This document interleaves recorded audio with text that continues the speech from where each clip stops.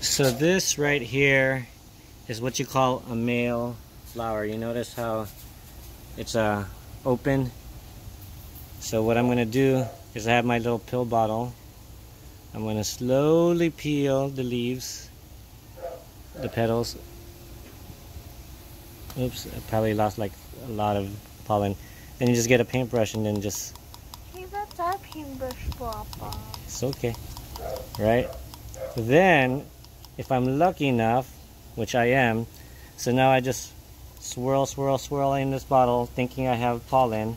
Then I go to this female. You notice how this one is more closed? And then you go Uh, like look the this. No, the other one was wide open. It was hanging.